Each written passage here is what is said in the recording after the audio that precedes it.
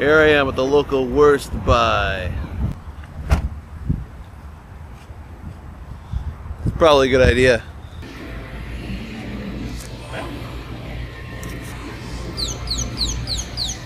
Oh You done goofed.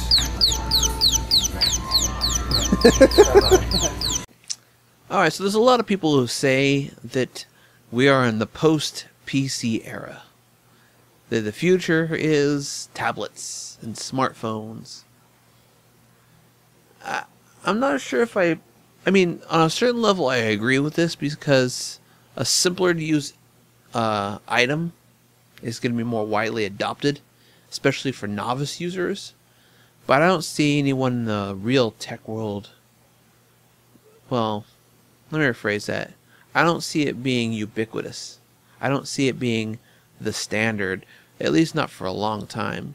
Not until they're the the tablets have just as much functionality as a regular computer.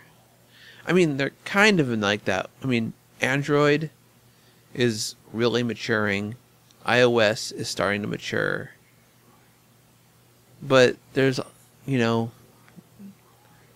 it seems like there's a lot of very seriously big missing things.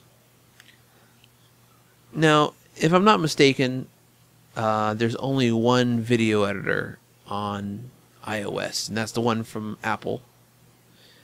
And I believe there is an experimental but not publicly available Android 3.0 video editor from Google.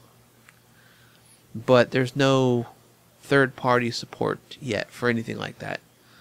I I edit my videos in Kdenlive and Linux, and I know a lot of people use Final Cut Pro, um, or Avid, or what's the other one? Adobe Premiere. Maybe some people use Vegas to edit videos. There's a there's a wide variety of video editing software. There's a wide variety of musical applications, and it's a, it's a diverse group and a diverse set of applications that people know and love.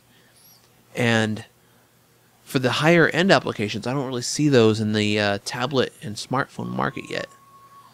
And and this is not even a thing about processing power because I always think the way traditional desktops do processing is backwards, anyways. You know, your chip does all the work, and your video card just sits there like, hmm, whatever. That seems kind of backwards. And I think that's also something that's changing too. So, what do you think? Do you think the future is in tablet form, or do you think it's going to be a, a, future mixed with uh, desktops and tablets? That's why that's what I'm leaning towards. Anyways, peace out, kids.